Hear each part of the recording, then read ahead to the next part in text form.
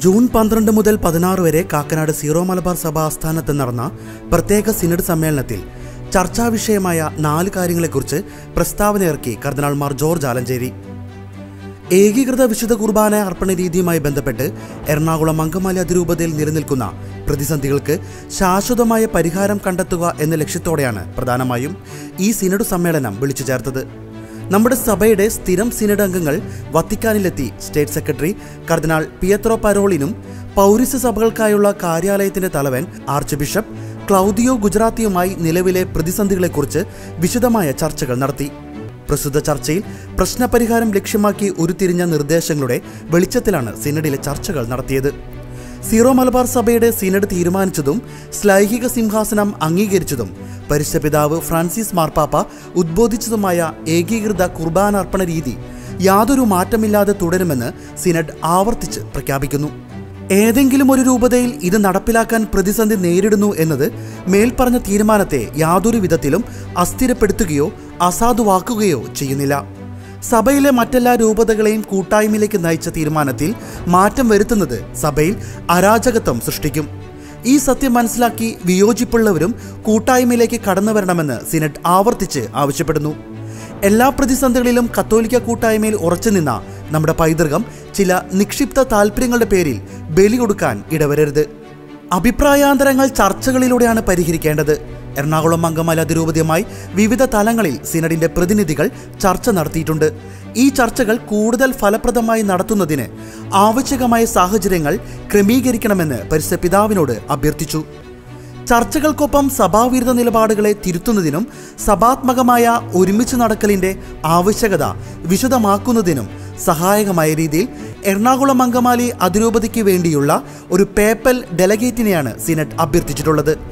സിനഡിന്റെ ഈ അഭ്യർത്ഥനയെ അനുഭാവപൂർവം പരിഗണിക്കാമെന്ന് പരിശുദ്ധ പിതാവ് ഉറപ്പു നൽകിയിട്ടുണ്ട്.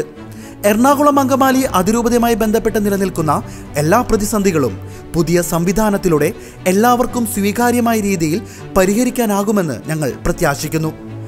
ദൈവകൃപയാൽ നമ്മുടെ സഭ ആഗോളതലത്തിൽ വളർന്നുകൊണ്ടിരിക്കുന്ന സാഹചര്യത്തിൽ മേജർ ആർച്ച് ബിഷപ്പിന്റെ ഉത്തരവാദിത്തം വർധനമാകുന്നുണ്ട്.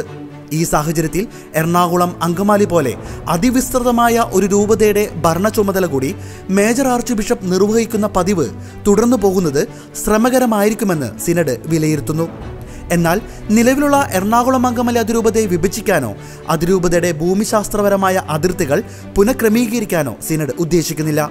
ഇത് സംബന്ധിച്ചുള്ള വ്യാജ പ്രചാരണങ്ങൾ ആരെയും വഴിതെറ്റിക്കാതിരിക്കാൻ ശ്രദ്ധിക്കുമല്ലോ.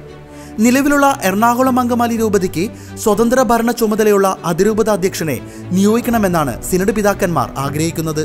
ഇതിന് സഹായകമായ ക്രമീകരണങ്ങൾക്കായി ശ്ലൈഹിക സിംഹാസനത്തോട് സിനഡ് അഭ്യർത്ഥിച്ചിട്ടുണ്ട്. താൽക്കാലികമായ പ്രശ്നപരിഹാരം എന്നതിലുപരി എറണാകുളം അങ്കമാലി അതിരൂപതയുമായി ബന്ധപ്പെട്ട സങ്കീർണമായ വിഷയങ്ങൾ അതിരൂപതയോടുകൂടി നന്മയെ ലക്ഷ്യമാക്കി ശാശ്വതമായി പരിഹരിക്കുന്നതിന് ആവശ്യകമായ ഒരു കർമ്മ പദ്ധതിയാണ് ശ്ലൈഹിക സിംഹാസനത്തിന്റെ അനുമതിയോടെ നടപ്പിലാക്കാൻ സിനഡ് പരിശ്രമിക്കുന്നത്. നിലവിലുള്ള സംവിധാനങ്ങളിൽ മേൽപ്പറഞ്ഞ മാറ്റങ്ങൾ വരുത്തുന്നതിന് ശ്ലൈഹിക സിംഹാസനത്തിന്റെ അനുമതി ആവശ്യമാണ്. അതിനാലാണ് കൃത്യമായ തീരുമാനങ്ങൾ ഇപ്പോൾ പ്രഖ്യാപിക്കാൻ കഴിയാത്തത്. ഏറെ വൈകാതെ നിലവിലുള്ള പ്രതിസന്ധികളെല്ലാം ശാശ്വതമായി പരിഹരിക്കാനാകുമെന്ന ഉറച്ച പ്രത്യാശയാണ് സിനഡിനുള്ളത്. ഇതിനായി സഭയൊന്നാകെ പ്രാർത്ഥിക്കണമെന്ന് സ്നേഹപൂർവം ആവശ്യപ്പെടുന്നു. എറണാകുളം ബസിലിക്ക ദേവാലയം തുറക്കാനും വിശുദ്ധ കുർബാന ഒഴികെയുള്ള ആത്മീയ കർമ്മങ്ങൾ അനുഷ്ഠിക്കാനും ധാരണയായിട്ടുണ്ട്. കത്തീഡ്രൽ ദേവാലയം എന്ന നിലയിൽ ശ്ലൈകിക സിംഹാസനത്തിന്റെ നിർദ്ദേശപ്രകാരം ഏകീകൃത രീതിയിലുള്ള വിശുദ്ധ കുർബാന അർപ്പണമല്ലാതെ ജനാഭിമുഖ കുർബാന അവിടെ അർപ്പിക്കില്ല എന്ന് ബസ്ലിക്ക വികാരിയും കൈക്കാരന്മാരും നൽകിയ ഉറപ്പിന്മേലാണ് ദേവാലയം തുറന്നിരിക്കുന്നത്. കൂടാതെ മണിപ്പൂർ കലാപത്തിലും കേരളത്തിലെ കർഷകർ നേരിടുന്ന പ്രശ്നത്തിലും സിനഡ് ആശങ്ക രേഖപ്പെടുത്തി.